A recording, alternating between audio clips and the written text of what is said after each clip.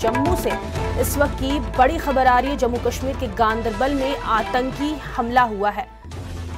हमले में एक डॉक्टर समेत सात लोगों की मौत बताई जा रही है। जम्मू से बड़ी खबर आपको बता रहे आतंकी हमले में पाँच लोग घायल हुए हैं। तो आतंकी संगठन टीआरएफ ने ज़िम्मेदारी ली है। बड़ी खबर जम्मू से इस वक्त आपको बता रहे हैं एनआईए आतंकी हमले की जाँच करेगी।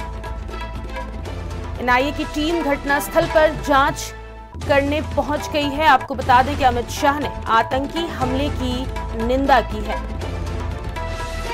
गांदरबल में मासूम नागरिकों पर हमला हुआ है। अमित शाह ने कहा कि निर्दोषों की हत्या कायरता की निशानी है। अमित शाह ने कहा, आतंकी बचेंगे नहीं, कठोर प्रहार होगा।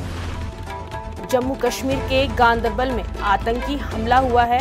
ये बड़ी खबर अभी मिल रही है। हमले में एक डॉक्टर समेत सात लोगों की मौत हो गई है।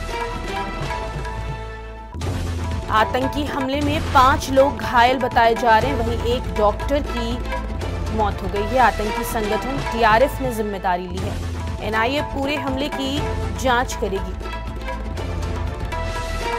एनआईए की टीम घटनास्थल पर जाँच करेगी। बड़ी खबर आपको जम्मू से बता रहे हैं। अमित शाह ने आतंकी हमले की निंदा की है।